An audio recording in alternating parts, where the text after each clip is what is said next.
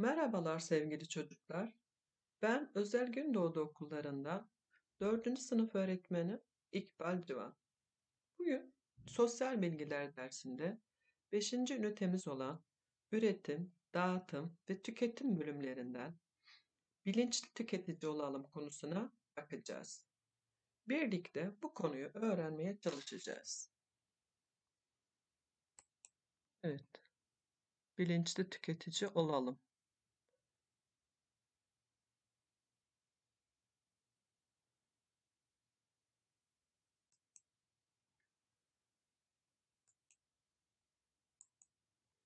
Bilinçli tüketici olalım. İnsanlar alışverişleri sırasında alacakları ürünlerle ilgili olarak nelere dikkat ederler? Bunu birlikte düşünelim. Merhaba, benim adım Ahmet. Pazar günü annemle birlikte alışverişe gidecektik. Annem, oğlum markete gideceğiz ancak önce bir alışveriş listesi hazırlamamız gerekiyor dedi. Bunun üzerine hemen kağıt kalem alıp annemin söylediklerini yazmaya başladım. Ayrıca annemin onayını alarak kendi ihtiyaçlarımı da alışveriş listesine ekledim. O zaman alışverişe çıkarken ilk dikkat edeceğimiz neymiş? İhtiyacımız olanları belirleyecek bir liste hazırlamak. Evet, alışveriş listesi hazırlamak. Kırmızı kaleme geçelim. Alışveriş listesi hazırlayacağız. İhtiyacımız varsa ailemizin onayını da alarak alışveriş listesine ekleme yapabiliriz. Evet, Ahmet annesiyle birlikte gördüğünüz gibi alışveriş listesini hazırlıyor. İhtiyacı olan ürünleri almaya çalışıyorlar. İlk önce ihtiyaçlarımız ön plandaydı. Daha sonra isteklerimizi değerlendirmek adına aile büyüklerimizin onayıyla farklı uygulamalar yapabiliriz. Markete gidince evde yaptığımız listedeki ürünleri anneme okuyarak ona yardımcı oldum. Annem de okuduklarımı raflardan alıp sepete koydu. Bir yandan da bana bir ürünü satın alırken nelere dikkat etmem gerektiğini anlattı. Nelere dikkat edecekmişiz? Alışverişe çıkmadan önce bir ihtiyaç listesi hazırlamanın yararları nelerdir? Düşünecek olursak alışveriş listesini alışverişe çıkmadan önce hazırlarsak ihtiyacımızın dışında bir şey almamış oluruz. Gerçek ihtiyaçlarımız için alışverişe gittiğimize göre ihtiyaçlarımızı karşılayacak ürünleri almış oluruz. Oğlum, temizliğe ve sağlıklı olmaya önem vermeliyiz. Bu nedenle sebze, meyve gibi gıdalar alırken bunların tazeliğine ve temizliğine dikkat etmeliyiz. Neye dikkat edecekmişiz? Tazelik ve temizliğine dikkat edeceğiz. Alışveriş sırasında yapacaklarımız. Ambalajlı gıdaların üretim ve son kullanma tarihlerini kontrol edip son kullanma tarihi geçmiş yiyecekleri almamalıyız. Evet çocuklar burası da çok önemli. Üretim ve tüketim yani son kullanma tarihlerini mutlaka kontrol edeceğiz. Son kullanma tarihi geçmiş ürünleri kesinlikle almayacağız. Bu ürünlerin tüketilmesi halinde insanlara zehirleyeceğini unutmamalıyız. Eğer yanlışlıkla böyle bir ürün almışsak hemen iade etmeliyiz. Tüketici, tüketiciler olarak bunun hakkımız olduğunu bilmeli ve bu hakkı kullanmaktan çekinmemeliyiz. Ben bir tüketiciysem, tarihi geçmiş bir ürünü almışsam bunu iade hakkım var. Bu hakkın bana ait olduğunu bileceğim ve çekinmeden markete gidip bu ürünü iade edebileceğim. Alışverişte karar verirken göz önünde bulundurması gereken önemli bir konu da fiyattır. Bütçemizde ayarlarken para konusuna mutlaka öncelik vereceğiz. İhtiyacımız tamam var ama çok pahalı bir ürünse ihtiyacımızın bir bölümünü alıp ona göre değerlendirme yapmamız gerekiyor. Fiyat çok pahalıysa bu ay almayabiliriz, öbür ay alabiliriz. Bu nedenle alacağı, alacağımız ürünün fiyatını birkaç yere sorarak gerçek değerinin ne olduğunu öğrenmeliyiz. aynı kalitedeki ürünlerden ucuz olanını tercih etmeliyiz. Ayrıca aile bütçemiz bütçemizde açık oluşturacak şekilde aşırı ve gereksiz harcamalardan da kaçınmalıyız. Gereksiz harcama yaparsak aile bütçemiz zorlanabilir. Bakın bir salça almışlar, domates salçası gibi gö görünüyor. Ahmet üzerindeki yazıyı okuyor. Üretim tarihi 04.01.2018, son kullanma tarihi 04.01.2019. Bu da paketleme seri nosu yazılmış. Buna göre ben bu ürünü alabilirim. Çünkü daha son kullanma tarihi geçmemiş diyebiliriz.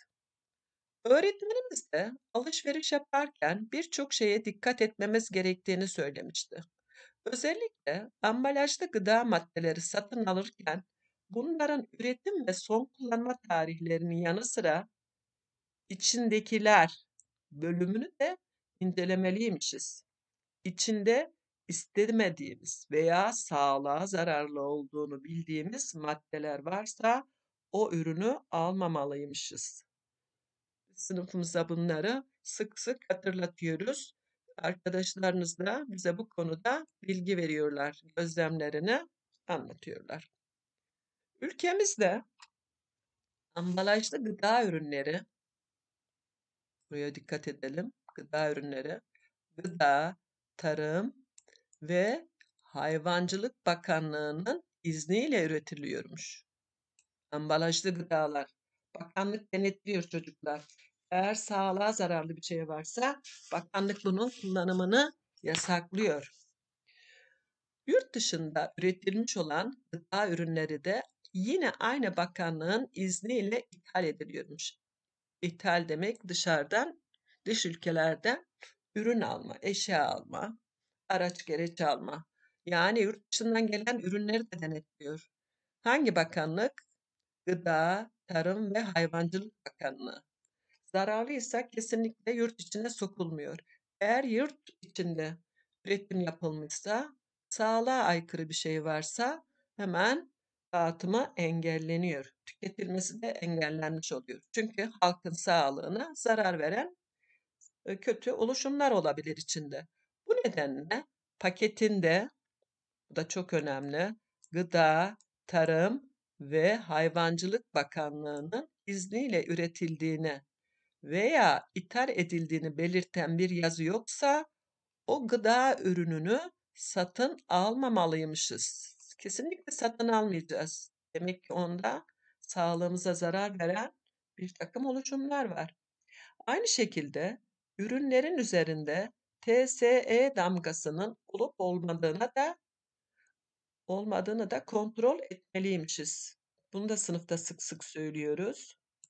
TSE Türkiye Standartları Enstitüsü demek. Yani kesinlikle bu ürünü kullanabilirsin. Böyle bir damga varsa, Gıda Tarım ve Hayvancılık Bakanlığı'nın izniyle üretildiğini belirten bir damga varsa, bir yazı varsa onu da tüketebiliriz.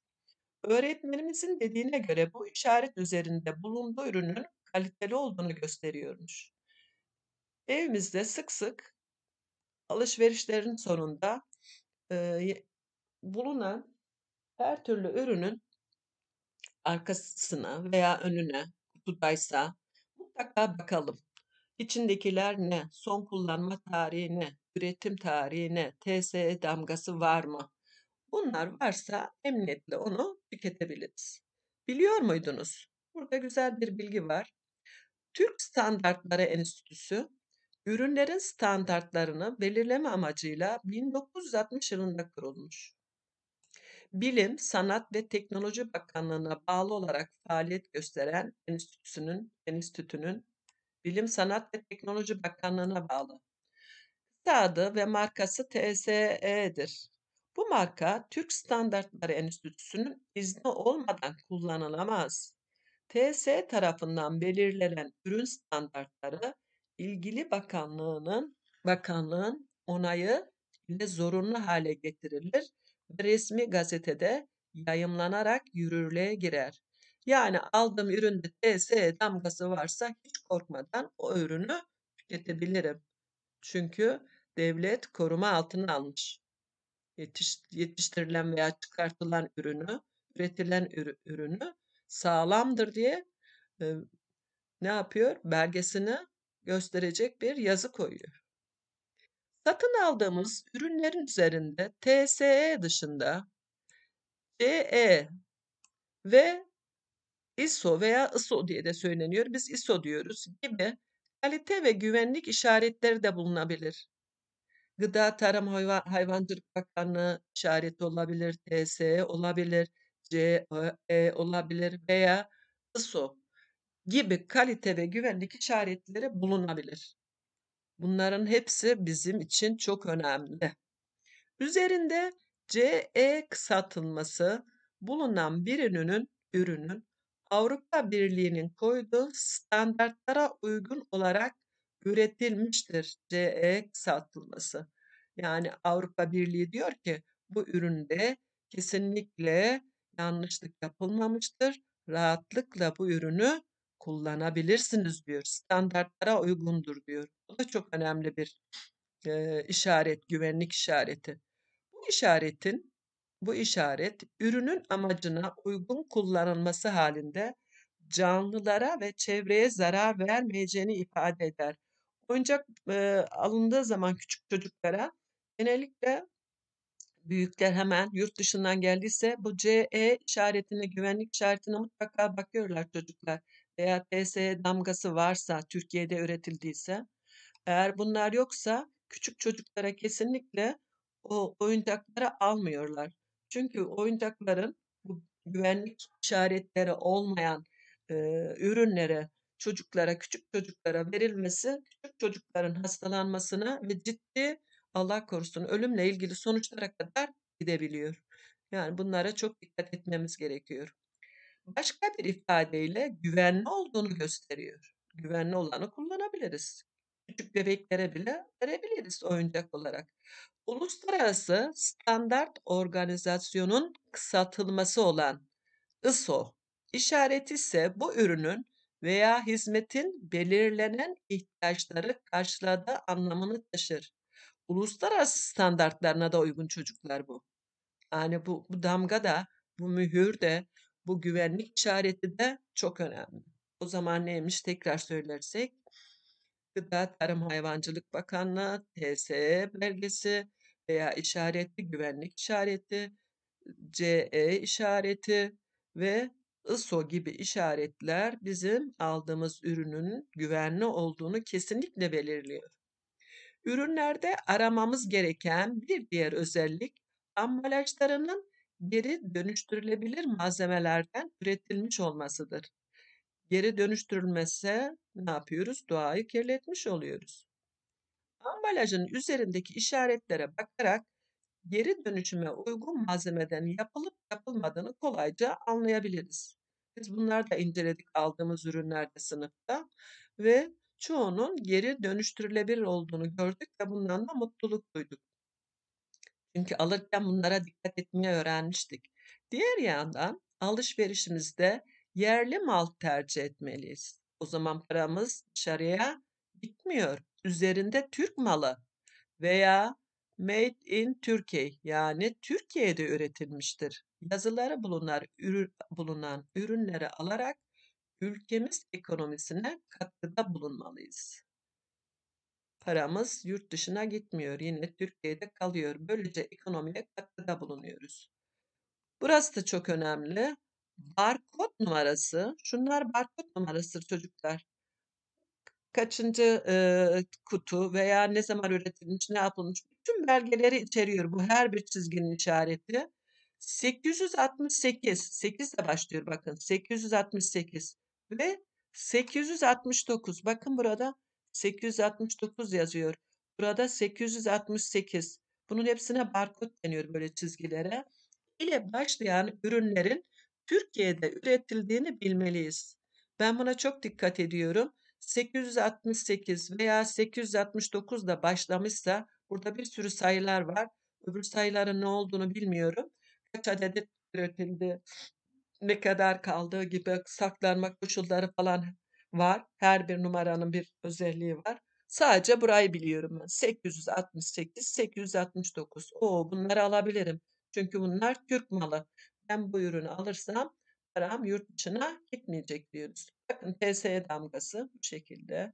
CE diye siz farklı da okuyabilirsiniz. ISO, ben ISO diyorum. 9001 yani uluslararası belgeye sahip. Zaten tik atmışlar. Geçerli diyor.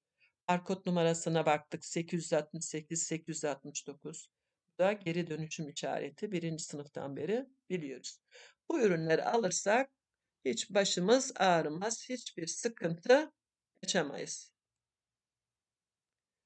Evet, yapınız diyor. Evinizde kullandığınız gıda ve temizlik ürünlerinden 5 tanesini seçiniz. Seçebiliriz. Bu ürünlerin adlarını ve hangi ülkede üretildiğini, ambala ambalajın geri dönüştürülebilir malzemelerden yapılıp yapılmadığını ve üzerlerinde TSE, CE, ISO gibi kalite ve güvenlik işaretlerinden hangilerinin bulunduğunu tablodaki yerine yazınız. Evet, bu çalışmayı yaptıktan sonra sınıfta biz işlerken bu konuları sizin de aynı şekilde öğretmeninize cevap vermeniz gayet kolay olur. Dersimizin bugünkü bölümü sona erdi. Hepinize